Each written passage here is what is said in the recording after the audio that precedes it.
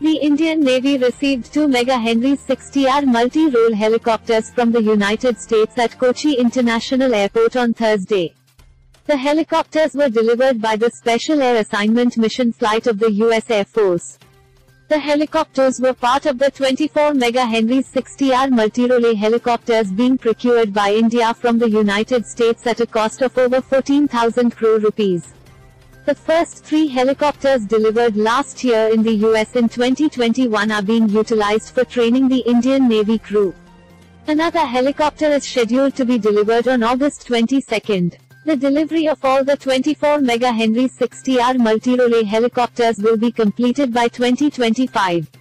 The induction of these helicopters will significantly boost the integral anti-submarine warfare (ASW) capability of the Indian Navy, said the Indian Navy officials.